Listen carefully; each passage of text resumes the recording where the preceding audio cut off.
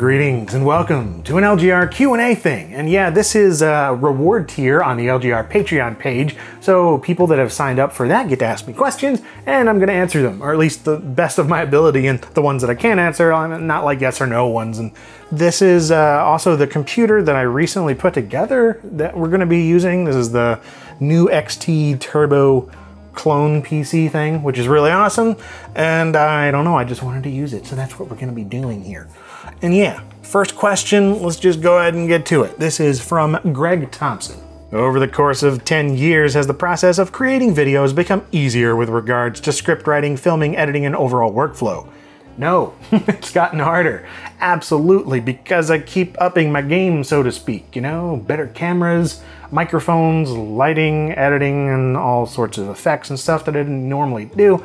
And uh, really, just the whole thing is way harder than it ever was before, and that's totally my own fault. But I think the results are worth it. 13 Cubed asks, what's involved in the production of a typical LGR episode? How much time is spent writing scripts, filming, editing, etc.? Well, all those things you just mentioned are involved in the production. Uh, other than that, I mean, yeah, I could probably do like a making of video at some point. I kind of did a while back, and it was just like a time lapse. It wasn't too involved, and I also might want to do a video about equipment because people ask me about that all the time. But yeah, it's how much time is spent. It depends, you know, anywhere from 20 hours for a really easy video or even less for something like this all the way up to 60, 70, 80, uh, who knows how many hours because sometimes videos are just spread out over a course of months or years or who knows. Elon Iton asks, how do you come up with the topics for your videos? A mixture of stumbling around the rabbit holes of the internet and late night eBay searches and yeah, just whatever I'm feeling on any given day of the week. It changes week to week, you know. Sometimes I'm feeling like an Oddware episode or putting together a Tech Tales or um, maybe I've got something I want to build or repair and that's just been sitting around for a while, or you know, enough footage comes together for thrifts and it's like, okay, may as well edit that this week. Just depends. Honestly, I have no system. no system whatsoever. Star Kindler Studio asks, what is your favorite segment slash content to make? The stuff that makes you feel super accomplished getting done, regardless of views or revenue. Definitely LGR Tech Tales, no question there. It's just that has the most research and the most detail and a lot of little things that have to come together to make like a cohesive looking video, you know, finding the right imagery in newspaper articles and magazines and screenshots and video. Yeah, it's just a really rewarding thing to put together and I wish that I had more time to do more of them. Logan King asks, a lot of your videos seem to have really long lead times nowadays, where you have to track down a specific version of some software from 25 years ago to even see if the hardware you bought works. How do you keep track of all the things? Lists, mostly, writing things down, putting it in calendars, setting reminders for myself on my phone or computer or whatever. Uh, yeah, just basic organizational stuff. And also I have a shelving unit over there full of other LGR projects that are in the works. So every time I see it, I feel shame and pressure. That helps. Pute H asks, which of your computers are you most proud of? Well, recently I'm really proud of the NuXT here, or the Nuxt Cube, as y'all have started calling it, which is actually quite clever. I wish I'd thought of that. But anyway, yeah, the Nuxt Cube, I like this, but I also like, you know, the Woodgrain 46 and things that I've done repairs on and augmented with other parts. You know, anytime there's like blood, sweat, and tears going into a project, it makes it more special. So yeah, but uh, generally, I guess I'm most proud of whatever I've worked on most recently. Hmm. Chris asks, why wood grain? Or more specifically, what originally made you interested in that aesthetic? I guess it probably comes from growing up around it. You know, I had a lot of wood paneling and stuff at home and grandparents and everybody's houses. I don't know, there was wood wood grain everywhere. so anyway, there's a nostalgia factor, but beyond that, I don't know. I just like the way it looks. I like natural textures on things. I love original, like natural wood that actually comes from trees. You know, as much as I like veneers and vinyls and stuff, those tend to have repeating patterns. But when you don't see that so obviously, and it's cut from different parts of the tree, that looks really cool. I don't know, I just like wood grain. However, I don't like it on everything, you know, that's another thing that some people seem to get sort of misconstrued. I just like it on certain things, you know, mostly electronics, uh, especially up against like brushed metals. Uh, brushed nickel and wood look great, or like a nice walnut which, uh, with a flat matte black kind of textured finish look great. I like certain things, I like wood grain, that's how it goes. Here's a question from a bunch of people. It's all kind of similar, so I put it together. From Joe Boxer, Adult Sword owner, Rob Caporetto, and Dave Langley. What's your collecting holy grail? What hardware have you sought out but just can't find? If money, and space, and availability were no object, what would you get? Well, if nothing at all was any object, it'd probably get something crazy, huge, historical monstrosity like a 60s IBM mainframe or something. But yeah, I don't even know if I'd really want that because what would I do with it and what in the world? but uh, yeah, like actual personal holy grails are like machines that I had as a kid or specifically the machine that I had as a kid, like an old Packard Bell or the Acer or something, but they're long gone. You know, they were either trashed or just gotten rid of in some way. And I can never find them again because that was an exact machine. Even if I find the exact same model, it'll never be the same computer. So yeah, my holy grail are machines that genuinely no longer exist. Will Herman asks, what do you think is the future of edutainment software, especially considering how most children use phones and tablets instead of PCs? I don't know, I'd say I'm pretty hopeful about the future of edutainment. I mean, admittedly, I'm not like in that world. I don't have kids. I'm not looking up uh, tablet edutainment software, but I do know that like kids nowadays are way more tech savvy than I was at earlier ages than ever, and they've got access to more and more stuff. So hopefully that means there's more edutainment opportunities. I, I'd say overall, I'm hopeful, although I'm just not too familiar with the current state of edutainment. Brian Walker asks, do you think more modern tech will offer as much nostalgia factor in the future as the stuff you feature now? Of course. I mean, nostalgia is going to affect everybody at some point and as you get older and you start thinking about your past and then that feeling comes up and you get all warm and fuzzy inside when you see some piece of technology that you used to use as a kid or whatever. So yeah people nowadays are going to be nostalgic for the xbox one and the switch and all that kind of stuff eventually and that's just how it goes. There's like a study talking about the age ranges that you're really most nostalgic for. It's like 6 to 14 or something and like everybody is just sort of stuck in that period in their head in terms of the things that they want to go back to in their 30s. I, don't remember what the specifics were, but nostalgia seems to be pretty universal. Andrew Davenport asks If you could only have one computer and two games for the rest of your life, what would they be? How much can I cheat on this question? Like a modern machine that can just emulate everything, but I don't think that's really what you're asking. So if I had to pick just like one, it'd probably be like a late 90s Pentium 3 Windows 98 machine or something, so I could run Duke 3D and other DOS games so yeah, uh, my two games would be Duke 3D and Duke 3D Atomic Edition. Zykes asks, what's your all-time favorite Sims expansion? That would have to be the Sims Hot Date, without question, because it's the one that really opened my brain to the possibilities of the Sims series. You know, it brought Sims out of the house and off their home lot and gave them a world to explore. That was super cool, and it just made me super optimistic about the future of the Sims, and, you know, at every iteration it's got to be better than the last one, right? And I really wish that was true. Tristan Waddington asks, What's your life like outside of LGR? Can we get a tour of your neighborhood and favorite coffee shop? Probably not, at least not until I leave this area, because I don't want to show my neighborhood or anything like that. I, that's just too personal. I don't like doing that. I don't even like showing my house. I've never really shown my house. But my life outside of LGR is pretty normal. I don't know. I, go around and, and, and do life things like a person. Margaret Ransdell Green asks, What modern games are you currently playing? Let's see, right now, uh, well, I'm working on a review for Ion, I almost said Ion Maiden, it's called Ion Fury now because lawsuits or whatever. Uh, and also something else that was affected by legal junk, uh, Jupiter Hell, which is actually a sequel of sorts to Doom RL, which that was ZeniMax threatened to cease and desist. And yeah, man, all these legal trouble games. Uh, and I'm also playing through Judgment on the PS4. So it's uh, in the Yakuza universe, maybe the same developers, but it's not like a Yakuza story exactly. It's more of a detective game. That's pretty fun too. So yeah, those few, I'm playing those. Daniel Lee asks if you suddenly came into an arrangement whereby all the expenses necessary to maintain your current lifestyle were automatically paid, what would you do with your life? I would probably do a lot more LGR. or like more involved things or something. If I didn't have to worry about any revenue or anything like that, man, yeah, I'd take like months between videos. Maybe it's a good thing I don't have all the money. But if I did, yeah, I'd totally do more of what I'm doing now. Maybe more ambitious, crazy project, or, you know, start a museum or something cool like that. Something like a foundation for preservation or something for computers and software. I don't know. A lot of possibilities. Adriel asks, what is your musical background like? So I've alluded to this in the past in various things, and yeah, you know, I took piano and guitar and all sorts of things for years throughout childhood and uh, in my teens, I really got into like DJing or whatever, and just basically just running like digital audio workstations and messing around with like Propellerhead software and uh, Fruity Loops and like eJay software and all sorts of things like that, just making my own mixes and stuff. And I, I have some basic understanding of different things, and uh, that's about it. I made a bunch of albums, but uh, I mean, you know, it was just for fun. There's another set of similar questions from multiple people. Darren, Christopher, and Alex ask, What music do you listen to nowadays? What music do you like that people might not know about? And do you still listen to anything in the genres of techno and trance? Uh, it's funny you ask that last one there, because I actually just bought a bunch of trance vinyl. I, don't, I don't know, I felt uh, the urge.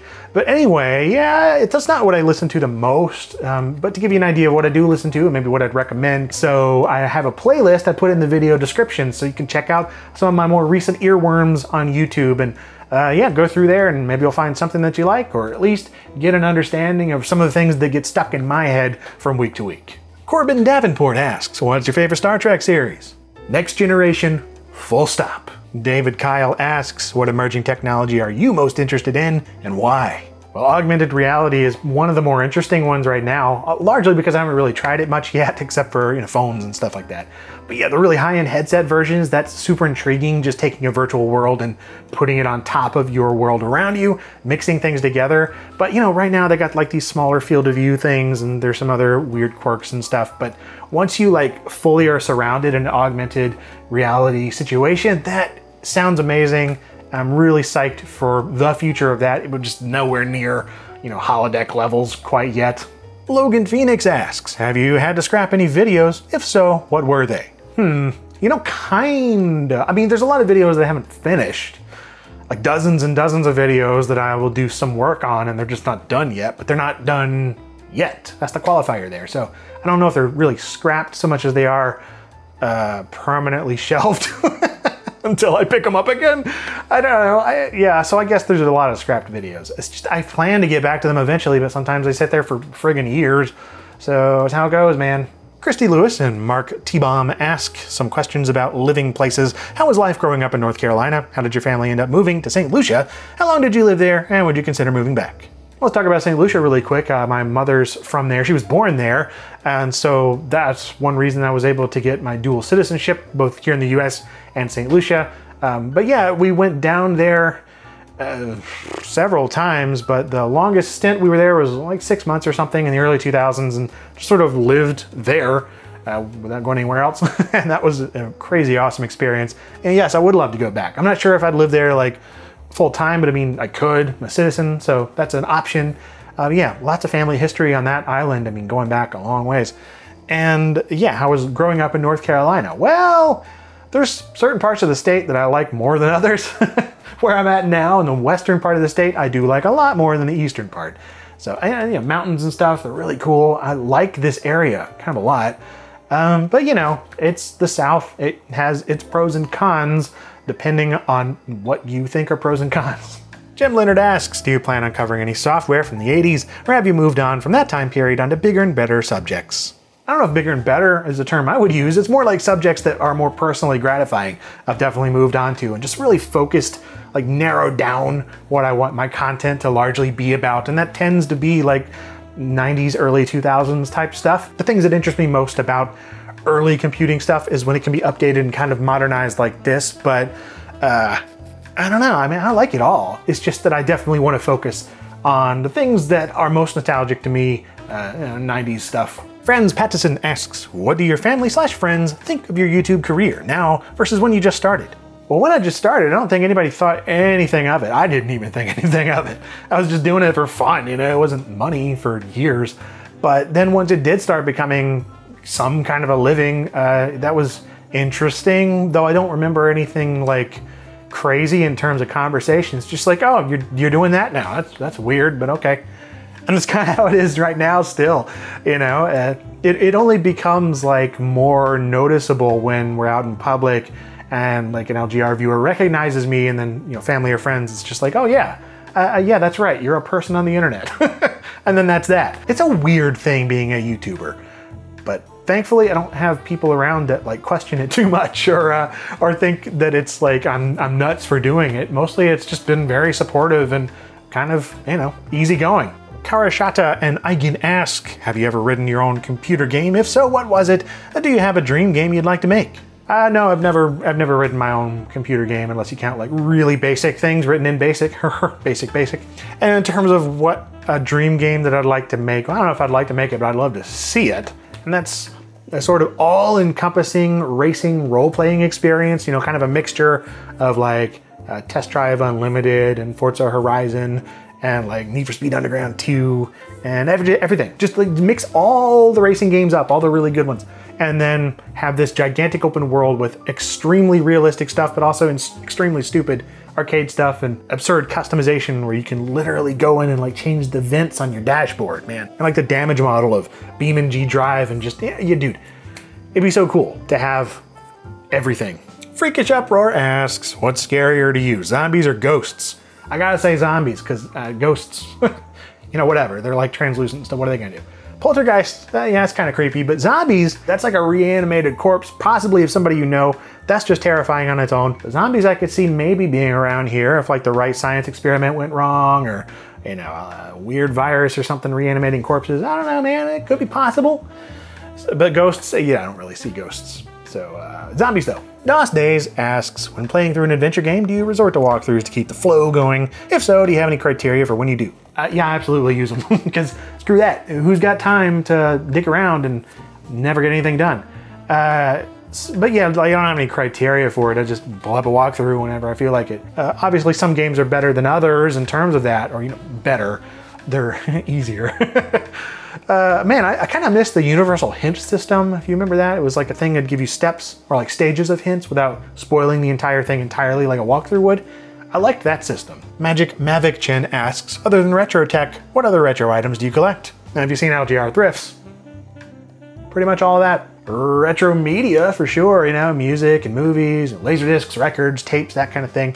Uh, but yeah, all sorts of stuff like retro lamps, you know, appliances and furniture. And oh man, I love retro furniture. Mid century furniture, man, holy crap. Probably gonna get an entire room decked out in like atomic age stuff. Uh, yeah, I don't know, retro everything. The Enforcer asks, out of all the things you found in thrift stores over the years, what item is your favorite find of all time? There's a couple that come to mind for sure. That IBM XT that I found in like episode two, three of Thrifts was amazing. Never thought I'd find one of those at Goodwill, much less for a decent price and fully working and cool stuff inside. Uh, but also Space Taxi. I found a complete boxed copy of that for like 12 bucks at a half price books in Illinois. And I was already psyched because it was like a Muse software game that I already liked. But then I got home and did some research and found out that it's insanely rare and extremely valuable, at least if you can even find a copy, which rarely ever happens. So yeah, uh, those two were really, really cool finds.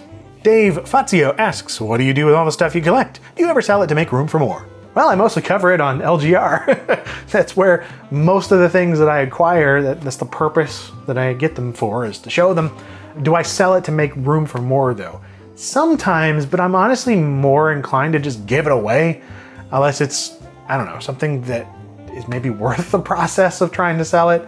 But uh, yeah, I don't know, I give away a lot of stuff, honestly. I gave away like four or five carloads of things from my storage like six months ago because I'm trying to downsize, honestly. And anyway, uh, yeah, I definitely have to make room for more stuff and kind of try to make it a rule. If I bring in something large, I have to get rid of an equally large amount or sized thing. Emil Olson asks, have you ever considered combining LGR thrifts and traveling, like going to Europe or Japan? Absolutely, I would love to do that and I don't know where the time or resources are ever gonna come from to make that happen.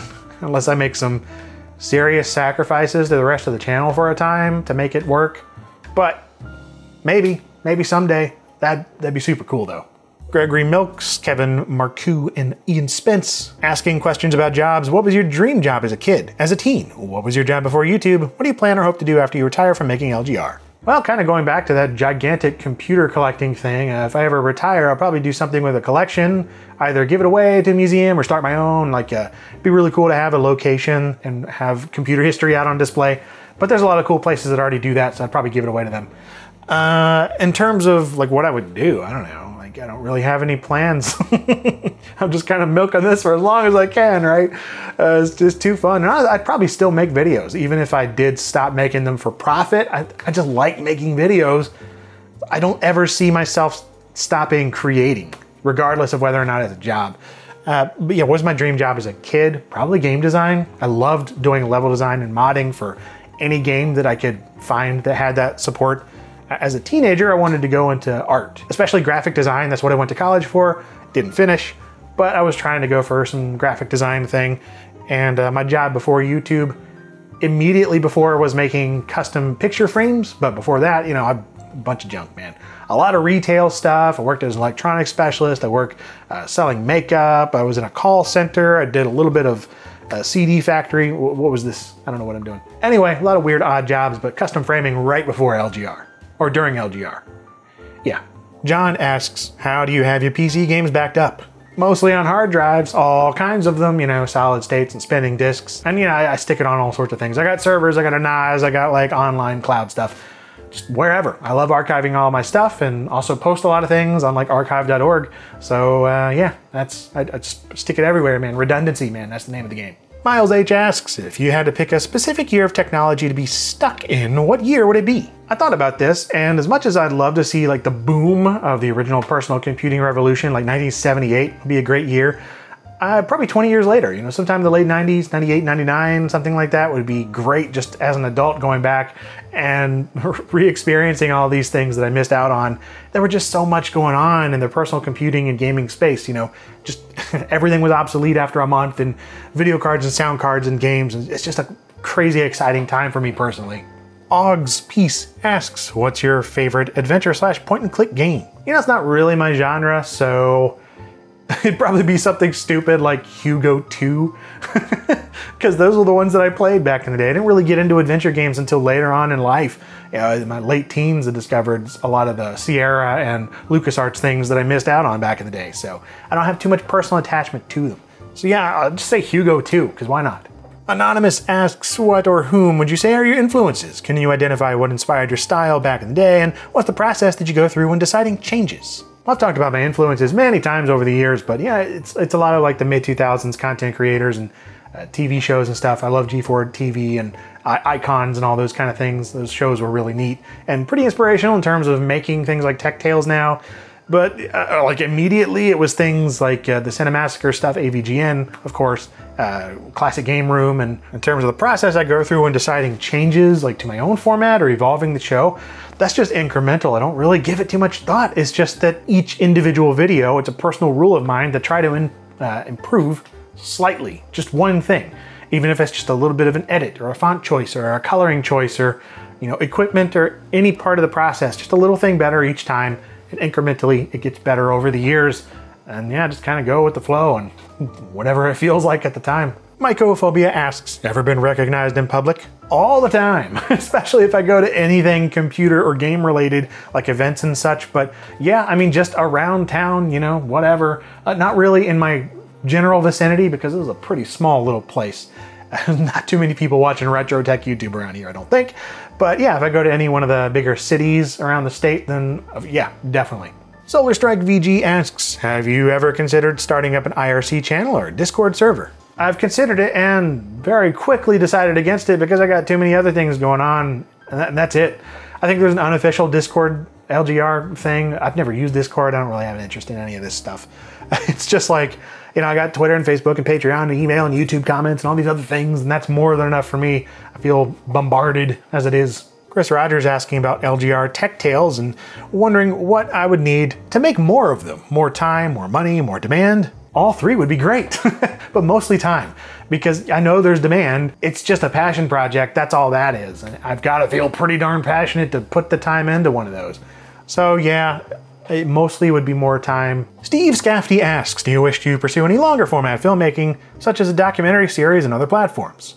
You know, not really. I don't really have that aspiration that a lot of other big YouTubers have to like get into making movies or documentaries or TV shows or something. I just like making videos every week about cool stuff that I have. That's about it. I've thought about it, sure. It might be cool to have like a feature length tech tales on the history of such and such or, you know, I don't know, something like the person talking about the LGR thrifts going around the world. I don't know, it's not on my radar. I just like making weekly videos on LGR things. Mark asks, when is LGR Con? LGRX, LGR Fest? Probably never. That's just weird, man. That's a weird thought. Like, I, I guess people would come or something, but like, uh, I don't want to make it more generic than that. Like, just LGR, it seems strangely self centered or something, but nothing against anybody that makes their own conventions. But I don't want to do, I don't want to do that. I want to make videos. Brian Nault asks, is there a particular controller that brings a rush of nostalgic memories? Yes, and I've covered it in LGR. It's the Kraft, I think the Thunder Stick is what it called. No, it's called the Mac and Cheese joystick. But yeah, it's just a simple, cheap little joystick that we had back in the day. And that's why it's so special. Every time I use it and play Need for Speed with it or whatever, LHX, it's just a rush. It's so fun. I love that cheap, crappy joystick, and I will till the end of time. And finally, Thomas asks, what is your argument to convince newcomers that computer history is worth exploring? Well, for one thing, I just think it's a lot of fun. Maybe that's just me, but I don't know. Computer history is neat. And it's also just a nice thing to look at the current situation that we're in or the future through the lens of the past. You know, if we don't learn from the past, then the future we're going to make the same daggone mistakes over and over and over. And in terms of a preservation standpoint, I just think that these things matter and that future generations are gonna want to know about where all of these things came from. And if there's nobody around to talk about it or keep these historical things alive, you know, computers and software and the hardware and the documentation and all this, then what's the point? you know, we're just gonna forget about it and, and then what? So it's a combination of things, but it's all important to me. Well, that's it for this Q&A video. I hope that you found something to enjoy here, some sort of enlightening something or other. Uh, feel free to discuss the things in the comments, and uh, I don't know, maybe this will spark some other questions in the future. And if you've got them, uh, feel free to sign up to Patreon and uh, ask for that tier. You don't ask for it, you just sign up for it. And uh, thanks to everybody who's already on there. Your support means an absolute ton, as well as everybody else who's here on YouTube supporting and any number of ways, you know. Knowing that y'all have my back is extremely, that's just awesome. Especially when things go stupidly wrong, like data leaks and junk like that. Everybody is, you know, on top of that, so I appreciate it. Uh, but yeah, I'm going back to making some other LGR things, uh, upgrading this computer, man. I've got like some different CPUs and ISA cards, and I've got a joystick plugged into it now with a game port and everything in there. So I got plans. So stick around for them if you like. And as always, thank you very much for watching.